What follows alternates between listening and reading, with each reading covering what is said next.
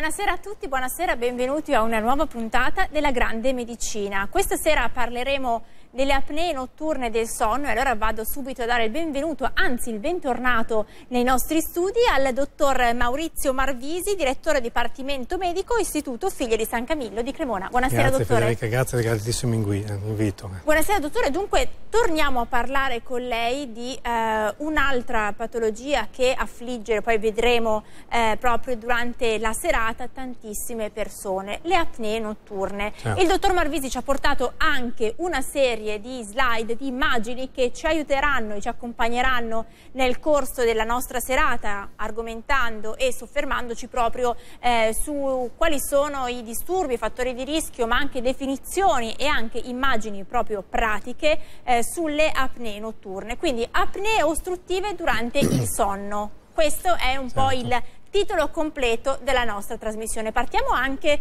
con eh, la prima slide che poi di fatto, dottor Marvisi, è anche una definizione. Certo, sì, noi eh, la, la, il, il, il, termine, l'acronimo OSAS eh, è derivato da, dalla lingua inglese, chiaramente sta per Obstructive Sleep Apnea Syndrome, che è una patologia abbastanza fresca. E, è conosciuta, è riconosciuta dalla comunità medica dal, dalle fine degli anni 90. Quindi è una patologia, cioè è una malattia? È una, è una malattia vera e propria che ha, come vedremo nel corso della nostra chiacchierata, diversi risvolti sul, sul nostro rischio cardiovascolare, quindi sulla, sulla, nostra salute. Noi usiamo una definizione eh, un po' semplicistica, però che ci permette però di, di, di, di, individuarla e di fare una classificazione di gravità. Quindi int intendiamo comunemente una, una patologia car caratterizzata eh, da russamento accompagnato però da episodi di apnea, quindi in buona sostanza di, da interruzione del flusso aereo che durano più di 10 secondi in, in media alternate ad altri episodi di, di, di, ipopnea che è una riduzione del 50% del flusso aereo che si ripetono per diverse volte nel, nell'arco del, del, nostro sonno. Quindi durante il sonno, e quindi, eh, esclusivamente durante il sonno. Eh, durante la veglia questi episodi scompaiono completamente. E allora leggiamo insieme la definizione proprio della sì. sua slide sì. che appunto abbiamo appena eh, visto in sovraimpressione. La definizione si riferiva proprio a questa assenza totale. Certo, eh, eccola qua, la OSAS è caratterizzata da ricorrenti episodi di cessazione del, del respiro, respiro. quindi che sono definite così per, eh, sono proprio delle interruzioni complete, quindi il nostro organismo non, non assume più ossigeno eh, dall'aria ambiente, quindi questi episodi si ripetono eh, per decine di volte eh, durante il sonno e determinano in, in buona sostanza eh, un, un, un, un, aumento del rischio cardiovascolare perché le immagini, eh, noi nel, nel, nostro sangue eh, solitamente la concentrazione di ossigeno è del 90-100%, in, in questi soggetti arriva durante questi episodi addirittura al 40, 50, 60%. Quasi quindi, meno della Certo, quindi questi episodi provocano in ultima analisi un danno dell'endotelio che è la, la parte interna più nobile eh, del, del, nostro apparato mh, cardiocircolatorio, quindi aumentano il rischio di aterosclerosi o, o, lo anticipano, quindi ci sono alcuni soggetti che hanno eh, un'evidenza un, di aterosclerosi addirittura a 40-50 anni. E, molto precoce. Mol, molto, molto precoce, quindi hanno un rischio cardiovascolare che è praticamente triplo, quadruplo rispetto alla popolazione generale. Parlando proprio di classificazione di gravità, anche qui sì. eh, parte la classificazione in base agli episodi ora. Certo, noi eh, con questo indice che si chiama AI, che sta per Apnea Ipopnea Index, è riconosciuto in tutto il mondo, quindi eh, siamo, siamo in grado analizzando questo indice di eh, capire qual è il grado di gravità e quindi di dare eh, una terapia oppure semplicemente un follow up al nostro paziente. Chiaramente quelli che hanno 5-10 episodi all'ora non necessitano di un intervento terapeutico ma di un, un follow up perché molto verosimilmente questi, questi soggetti eh, con l'invecchiamento dei aumentano. tessuti aumentano e peggiorano quindi il nostro obiettivo è di non perdere, di fare un follow up magari un anno a due anni, noi abbiamo un database che, che, ci permette di non dimenticarci di, di seguire i nostri pazienti, quindi questi vengono rivalutati, vengono, vengono studiati, poi se, se peggiorano effettivamente eh, gli mettiamo davanti quello che è poi il ventaglio di possibilità terapeutiche di cui molto probabilmente parleremo dopo. Però, quindi tra i 5 e i 15 eh, si definisce lieve? Sì, e quindi solo osservazione. Se, se, se, se, il nostro soggetto ha più di 15 episodi all'ora, soprattutto se, mm, eh, questi episodi sono accompagnati da sonnolenza diurna, molto spesso necessitano di, di un intervento terapeutico che, che può essere eh, molto impegnativo e molto articolato, poi ci sono delle slide sì. proprio ded dedicate al um, trattamento terapeutico. E poi addirittura Quindi, più di 30 episodi sì. l'ora lì è grave, sì. una classificazione grave. Bisogna, bisogna intervenire in tempi rapidi perché effettivamente questi, questi soggetti eh, hanno un elevatissimo rischio di, di, sviluppare infarti miocardici, ictus, eh, eventi cardio, cardiovascolari in genere.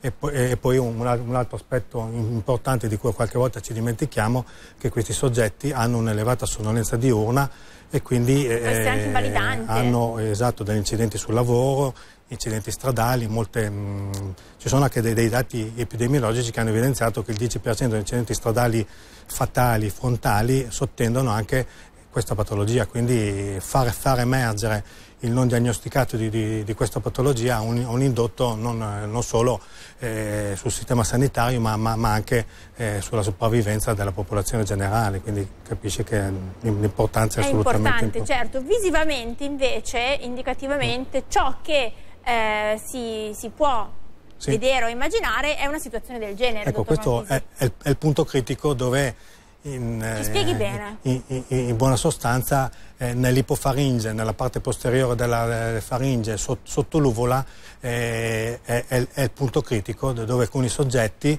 per conformazioni particolari del, del viso, perché sono sovrappeso o sono addirittura obesi, quindi hanno un'ipertrofia un, un, della base ling, eh, linguale, un'ipertrofia del, del, del, collo, quindi con, hanno una deposizione di, tessuto adiposo a quel livello hanno eh, durante, durante, il sonno una, praticamente una chiusura totale delle viere, e, um, una chiusura totale che determina l'insorgenza di quelle apnee e di, e, di quelle ipopnee che eh, sono una caratteristica tipica di, di questi soggetti. Sono, eh, ecco, quello che dicevamo prima è che fino a qualche anno fa era vabbè, un problema relativo, era eh, un, un, problema soprattutto per il, per, per il, compagno o per la compagna perché effettivamente il, il, il sonno con, quest, con, questo russamento, con questi risvegli improvvisi eh, era una delle cause principali di, di, di contenzioso per la separazione per il problema familiare. Però eh, la patologia è molto ben conosciuta, l'aveva descritto addirittura prima di Cristo Ippocrate, eh, eh, Dickens l'ha descritta talmente bene eh, in, in, questo famoso romanzo Il circolo Pickwick, eh, descrivendo il grasso Joe che era, un, che era in buona sostanza il, il cocchiere del, di un amico di famiglia, il, il signor Wardle, che, che, che, accompagnava a casa della, della famiglia Pickwick questo personaggio molto eh, brillante e, e, che mangiava eh, in modo molto copioso e, che, si addormentava eh, addirittura mentre parlava con, con i commensali. in qualche modo altre...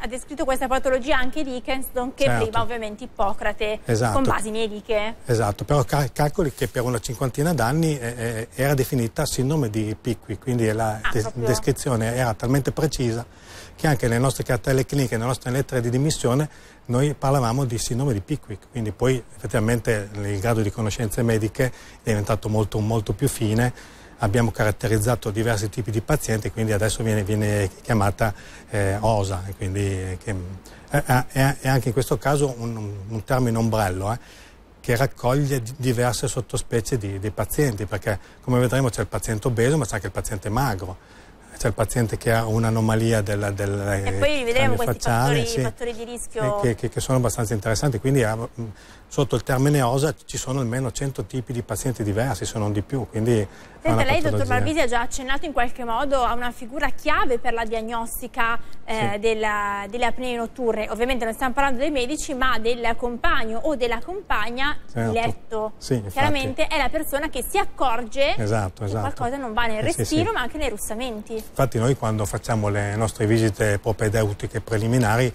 vogliamo sempre marito e moglie, compagno e compagna, perché effettivamente in alcuni casi fa facciamo diagnosi, adesso sto esagerando, sentendo la testimonianza del, del, del, compagno, del, del compagno, di letto, perché mol, molte mogli e molti mariti descrivono in, in modo ampio e, e, molto circostanziato questi risvegli frequenti, eh, questi ep episodi di, di, di, convulsioni tonico-cloniche. Che chiaramente svegliano anche l'altra persona? Che, che, svegliano il, il compagno di, di letto, che, che, è quello che, che dà l'allarme, è quello che va dal medico di, di, medicina generale al medico di base, il quale poi ci manda il paziente per una valutazione preliminare. Quindi il, ehm, il, il sommerso di, di, questa patologia viene, viene fatto emergere eh, molto spesso dal, dal, bad partner, quindi dal compagno di letto. Dottore, abbiamo una lista di fattori di rischio molto lunga. Sì, sì purtroppo... Noi abbiamo eh, ridotto, io, eh, avevamo sì. solo accennato, ma guardate che no, lista. No, effettivamente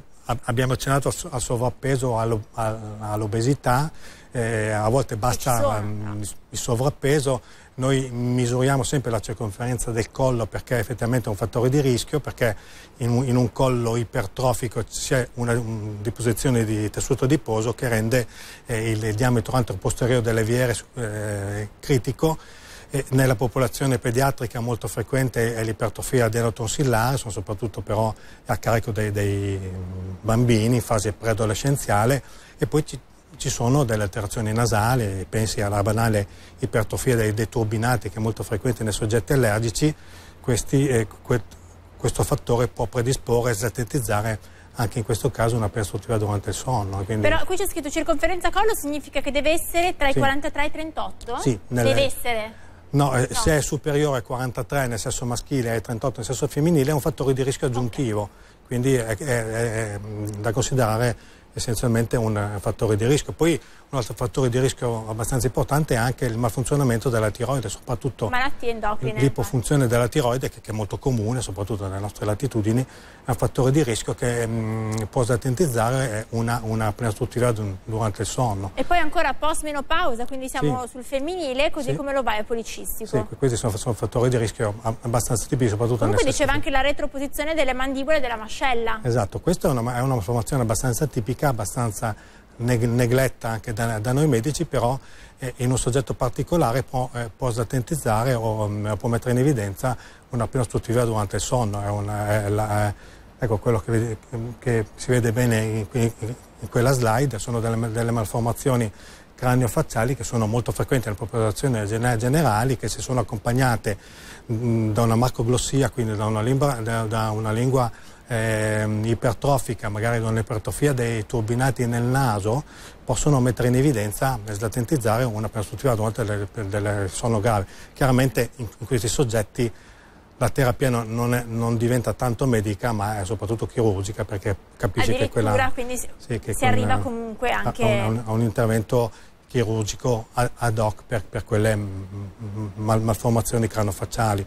E certo, quindi... sicuramente però l'obesità, il peso eh, sono fondamentali, cioè certo, come sono... per tutte le altre eh, sì. patologie, anche per eh, le apnee notturne assolutamente è la tenere sotto controllo il peso. È un fattore di rischio importante che si somma poi all'aterosclerosi. Ah. Ecco, quello è un, è un, grafico abbastanza tipico che ci fa vedere che c'è un, una correlazione li, li, lineare tra aumento di peso e, e aumento del rischio di, di sviluppare delle apnee ostruttive durante il sonno. Cioè parliamo di 110 eh, chili, per più di 375. Sì, esatto, quindi il, un, un, un, soggetto che pesa più di 100 kg ha il 60%, 50% di, di, possibilità, tra le altre patologie, di avere anche un'apnea ostruttiva durante il sonno che si assomma poi magari, mh, visto che sono soggetti obesi, all'ipercolesterolemia, all'ipertrigliceridemia, magari sono soggetti anche diabetici, quindi il rischio cardiovascolare è praticamente mh, quintuplicato. Quindi il nostro obiettivo è quello di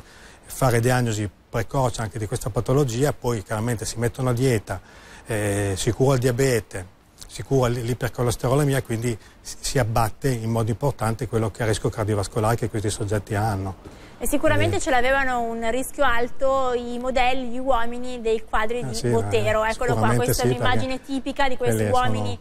decisamente sovrappeso sono, sono con il collo enorme, bellissimi, esatto, ma eh, modelli da non seguire per no, quanto riguarda lo stile no. di vita. È, è, il prototipo tipico del, del soggetto che, che, che, può avere e che meriterebbe di, di fare la, la, la, polisonografia. Così come poi... quelli di Modigliani, troppo stretti sì, sì, esatto, e troppo con, alti, con il collo lungo. Opposti. Esatto, esatto. Sono, sono aneddotici, però effettivamente capitano anche nella pratica clinica.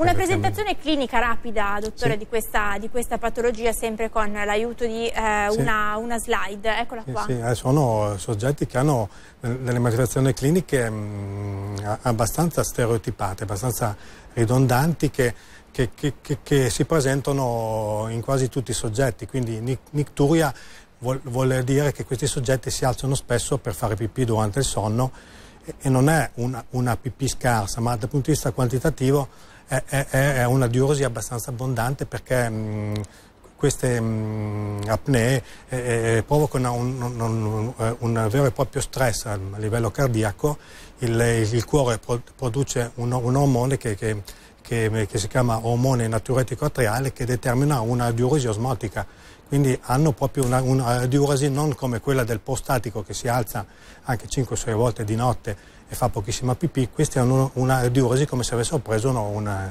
diuretico, quindi una, una diuresi assolutamente importante che si ripete 4-5 volte eh, nell'arco della notte.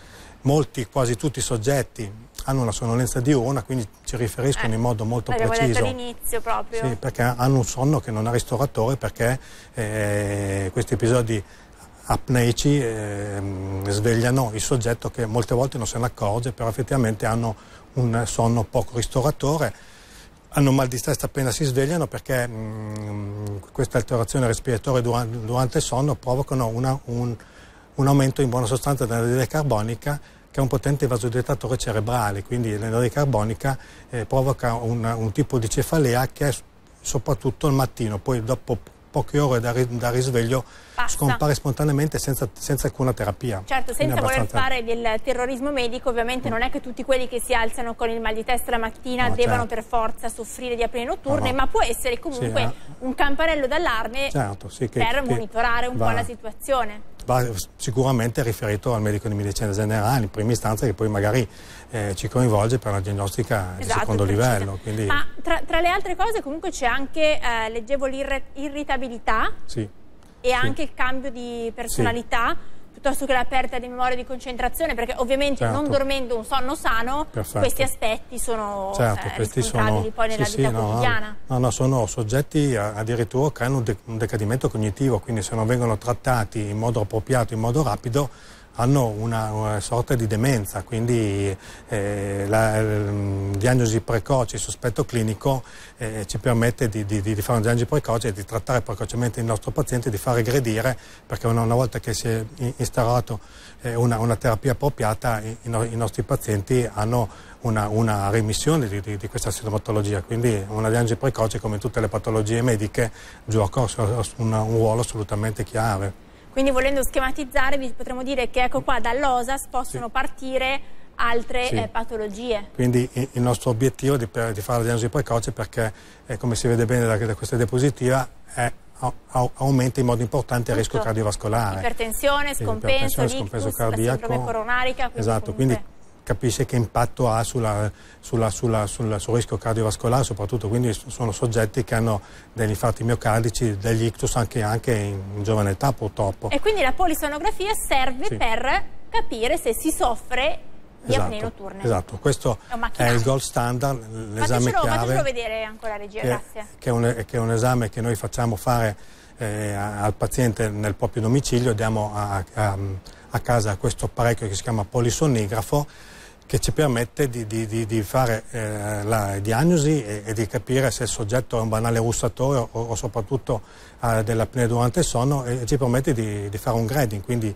di capire se il nostro soggetto merita di un'osservazione clinica gravità, insomma, oppure se, se, se, necessita di un, un trattamento medico-chirurgico e quindi in base al risultato di, questo esame fa, facciamo diagnosi e, e diamo una, una terapia per, personalizzata. Terapia che comunque si basa certo su misure comportamentali sì. con un buono stile di vita, cioè niente esatto, peso, abolizione del fumo, esatto, quindi queste sono le cose basilari per essere comunque eh, in perfetta salute. Questo è un messaggio che diamo a tutti, a tutti i pazienti, esatto. eh, che, che, non è personalizzato, ma diamo a tutti i pazienti eh, e, e molti soggetti con già con, una, con, con, delle misure comportamentali idonee eh, riescono a migliorare? eh, hanno un, un, un, buon outcome. Eh, e, e, qui siamo arrivati a questo punto esatto. terapia. Questa è una terapia medica è la terapia medica molto comune. più, più validata che è, è, è CPAP sta per Continuous Positive Airway Pressure. CPAP noi eh, diamo una, una, una pressione positiva continua nelle vie aeree che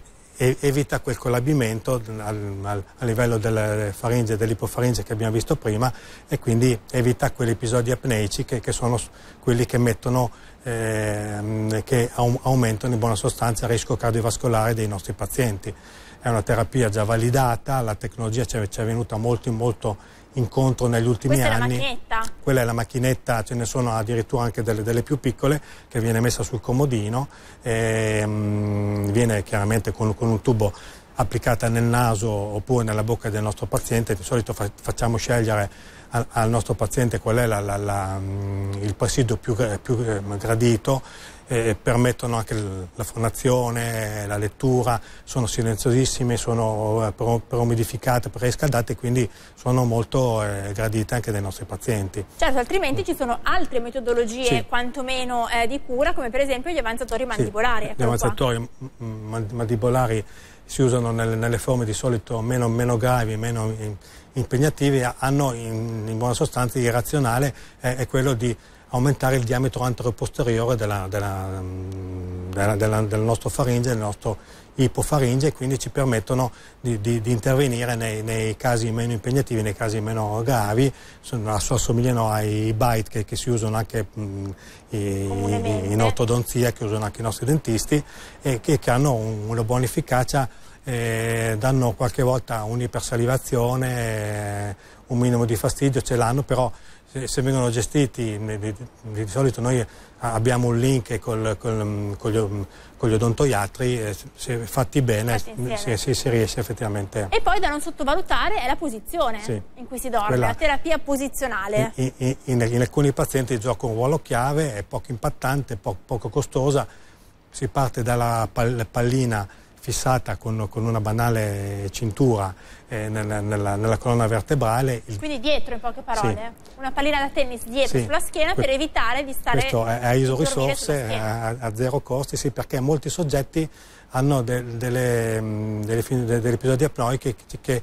insorgono praticamente in posizione supino. Se il 50% degli episodi eh, apneici sono in posizione supina si, si può tentare questa terapia che che è poco costosa, che è poco impattante anche per il, per il paziente e in alcuni casi funziona.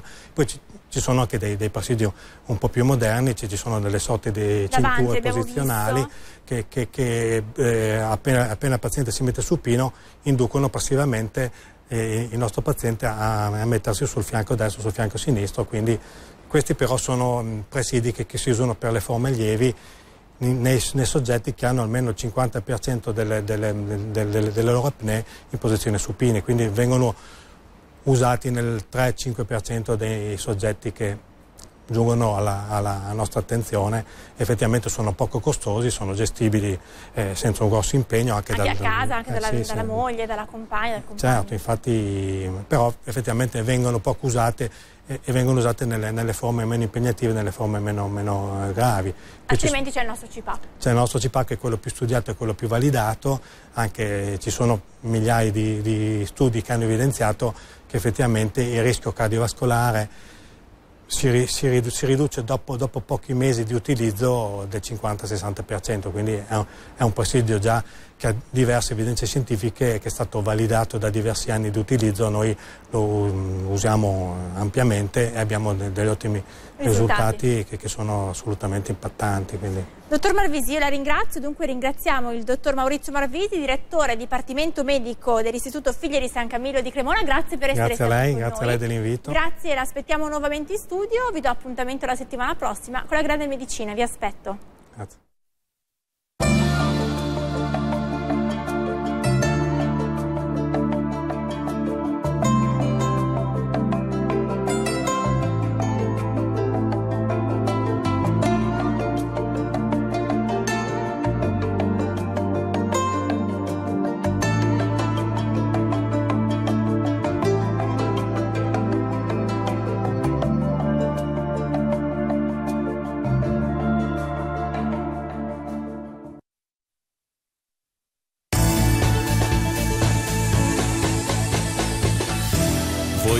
Questo programma? Scarica l'app o vai su cremona1.it.